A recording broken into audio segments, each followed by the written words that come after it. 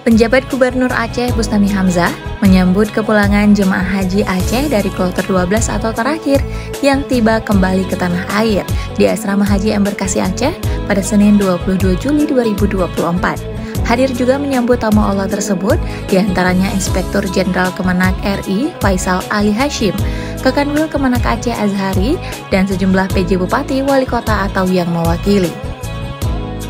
Jemaah kloter terakhir ini terdiri dari 387 orang yang berasal dari 9 kabupaten kota, di antaranya Simelu, Subulu Salam, dan Singkil.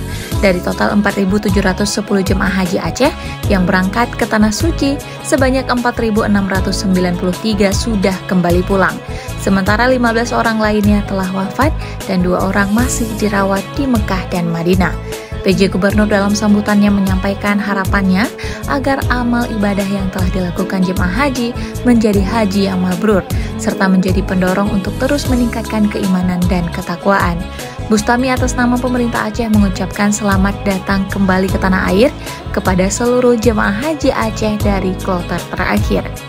Ia berharap semoga kehadiran para jemaah dapat memberikan inspirasi dan teladan dalam menjalankan nilai-nilai keislaman, serta semangat untuk berbuat kebaikan dalam masyarakat. Bustami melanjutkan, pemerintah Provinsi Aceh bersama Kementerian Agama Wilayah Aceh senantiasa berkomitmen untuk memberikan pelayanan terbaik bagi para jemaah haji, mulai dari persiapan keberangkatan selama di Tanah Suci hingga kembali ke tanah air. Pihaknya juga menyadari bahwa masih banyak yang perlu diperbaiki dan ditingkatkan dalam pelayanan haji. Masukan dan saran dari para jemaah sangat diharapkan agar ke depan pelayanan haji dapat semakin baik dan memuaskan.